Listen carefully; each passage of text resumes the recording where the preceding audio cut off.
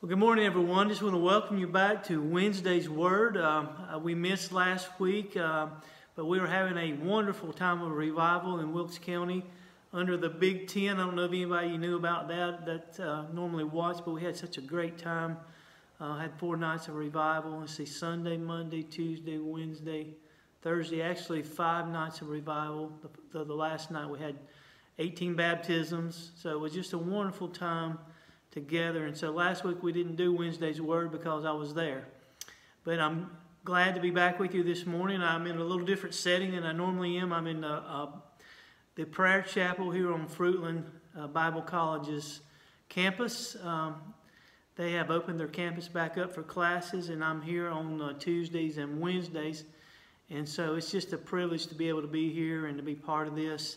And um, I love this little chapel. It's gorgeous inside. It's a place where a lot of young men come and do the, practice their preaching skills on a Tuesday night. They'll take turns. Um, the students will uh, preaching, and it's just a wonderful opportunity.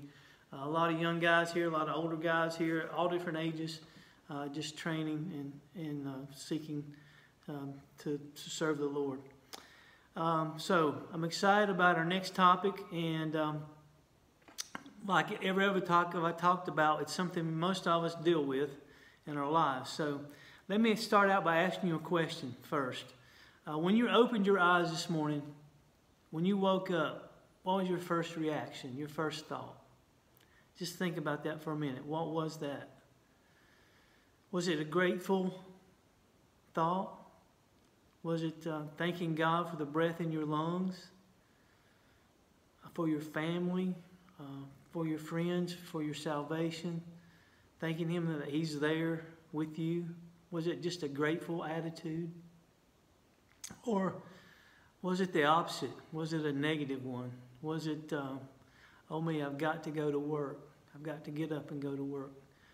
Well, actually, you get to go to work. That should be our attitude. Um, or was it, I'm so tired well, maybe you should try going to bed a little earlier. Uh, I don't know. I'm just saying, what was your attitude? Was it an attitude of gratefulness toward God and all He's done for us? Or was it an attitude of negativity? Um, maybe like, oh, I got to get up and clean the house. Well, be glad you got a house to clean. We can spin this thing either way, but God is not pleased with a, with a, a complaining, negative spirit. So I'm going to ask you to spell these words with me. Call them out as I go, and you'll understand what our topic is for today. You ready?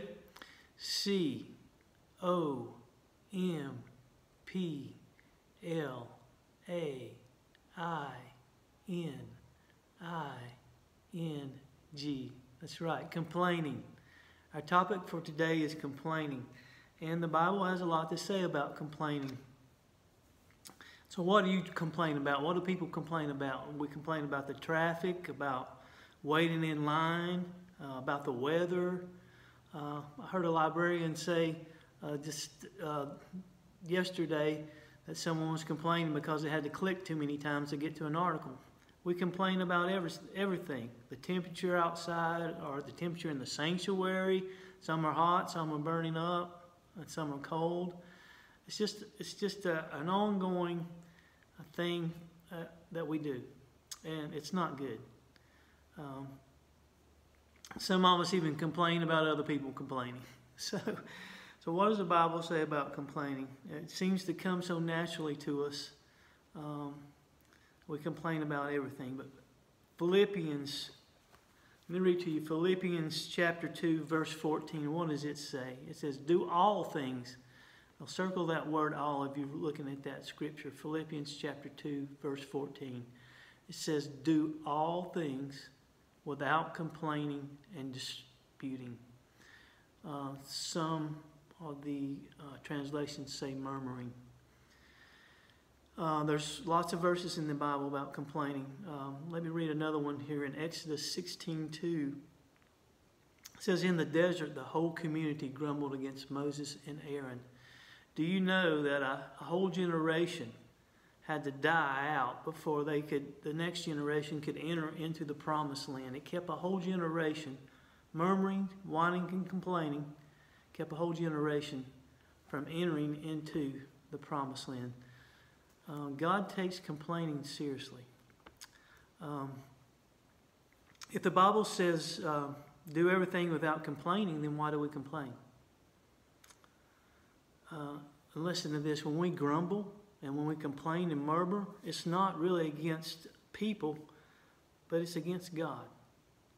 Um, and so, what are we to do? How do we handle complaining? Well, I want to give you four, I'm sorry, three things this morning. They all start with P, so they'll be easy to remember. Three simple things that will help you to overcome complaining. Um, and we'll look at those in just a second. But first of all, let's say that complaining is a universal occurrence. Wouldn't you agree? Uh, even people in the church complain. Yes, we do. Uh, when moaning and groaning become a norm in society, which we see, um, it's time to waken up. And we are called to be bright and shining lights in our communities and where we live, places we go in this world. And you're not a bright and shining light when you're complaining. Um, so, some point, somewhere in our life, we have to get past the moaning. We got to refuse to be moaners and complainers and whiners uh, and see the good things that God has done. To constantly complain is a sin. Now, we all know those people who we, we are with or gather with that constantly complain. It's all negative. And it's just, it sucks the life out of you. And that does not honor God in any way when we complain. So I want to give you three things. First of all, when you feel yourself starting to complain, pause. Just pause. Uh, maybe you're sensing you're grumbling or you're sensing you're complaining. I would suggest maybe that's the Holy Spirit speaking to you, telling you, hey, quit the grumbling. Or He's letting you know that you're grumbling. And when that happens, just pause. Um, take a moment to ask God, um, is my conversation being uplifting? Uh, is it encouraging or is it um, the opposite? Just take a minute and pause and think about what you're saying or about what you're about to say, even. Um, secondly, I would say once you've paused, you've felt that conviction from the Holy Spirit, then I would say pray. You pause and then you pray. Um, and ask God, do I have a complaining um, spirit? Um, actually, complaining is a spiritual issue and it requires a spiritual warfare. And so we need to pray and ask God, Lord, help me not to complain, but help me to be grateful uh, because you have blessed me richly. Um, did you have food on your table this morning? Uh, did you get a good night's rest? Uh, did you have a shower this morning? Um, were you able to uh, pick up a phone and make a phone call to your family member? Um, did you have a job to go to? Um, do you have family members in your household with you? Um, so many things we can just go on and on about being grateful for. So pause, pray. When you pray, pray with thanksgiving, and then pursue gratefulness. Pursue God. Uh, we have so much to be grateful for, especially our salvation, especially that we know the one who has given his life for us, the one who left the portals of heaven and took on flesh and lived here on earth a perfect life because we could not, and died for us, took all our sins upon himself, and died for us. How can we not be grateful? Look what's waiting ahead for those who have put their trust in the, in the Lord Jesus Christ. It's a home in heaven with all perfection will be. But while we're waiting on that, we to have a an attitude of gratitude, an attitude of gratefulness, not an attitude of whining or complaining. It does not honor God, and it does not help others. Yes, it's okay to speak up against uh, the wrongs um, but let's not be a complainer or a moaner or a whiner. Uh, but instead, let's be an uplifter, an encourager. Let's be a bright and shining light as the Lord has called us to be. Um, I hope today is a, from this day, this point forward in the day, it's a good day that you'll not complain or whine, but you'll uh, feel yourself starting to do that, that you'll pause, and then you'll pray, and then you'll pursue great things with God. Pause, pray, pursue the Lord all day. And that will help you to overcome complaining. So thanks for listening in. I'll be back with you next week about a different topic. But first, let's pray together and uh, about complaining. And you guys will be free to go. And I hope you have a fantastic day. Lord, we love you. We praise you. We thank you, God, for all the things that we have to be grateful for. I look outside these windows and I see a beautiful blue sky. I see the trees that are starting to turn. I hear children playing in the background. God, so many things to be thankful for. I woke up with breath in my lungs um, from a good night's rest. Lord, I woke up um, knowing that you're there with me. Woke up uh, knowing that I have a family uh, who loves me. God, I, I have so many things to be grateful for. I woke up knowing that I have friends that you've blessed me with.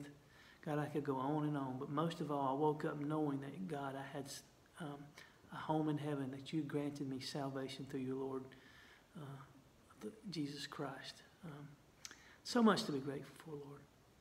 So help us, God, every day uh, to be grateful and not to be complainers, uh, not to be whiners or moaners, but to be bright and shining lights for you because uh, you say a cheerful, cheerful heart is like a medicine. Uh, so, Lord, help us to be cheerful and help us to lean on you. And it's in the name of Jesus we pray. Amen. Guys, have a great day. Uh, be cheerful, be encouraging, be grateful, and no complaining. All right, talk to you next week. Have a great day. Bye bye.